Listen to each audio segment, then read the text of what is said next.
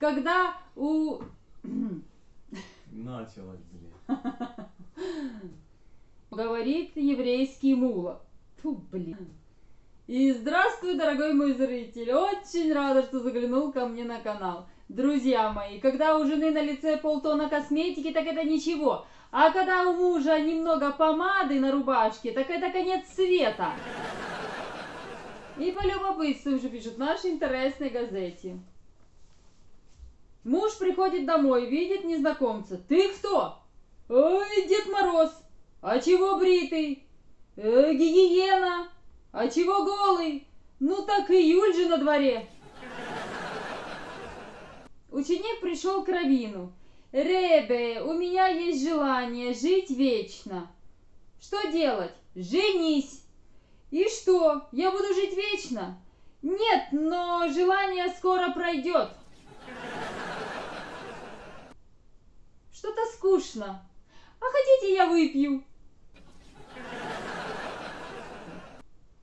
Мужик с похмелья заходит в хлев. В темноте ударяется головой об перекладину, ногой вступает в навоз. Подскользнувшись, падает в корыто с помоями для свиней. Тут же со стены летит лопата и бьет его по спине. Он встает и наступает на грабли, получает удар в лоб.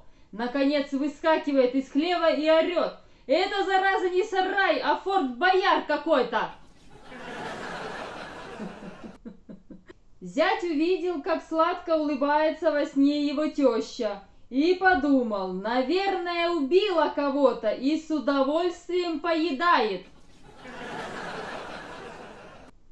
Моня сварил пельмени, почистил зубы, помыл ноги и понял, что больше эту воду использовать никак не получится.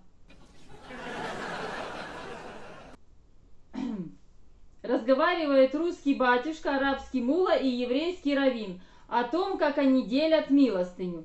Что себе, что Богу. Батюшка, я рисую вокруг себя круг и подбрасываю монеты вверх. Что упало в круг, то Богу, что вне круга, то мне. И я рисую круг и тоже подбрасываю монеты, говорит арабский мула. Что упало в круг, то Богу, что вне круга, то мне.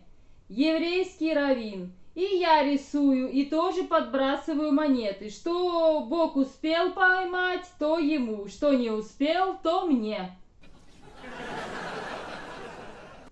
И на этой смешной ноте, друзья мои, будем с вами прощаться.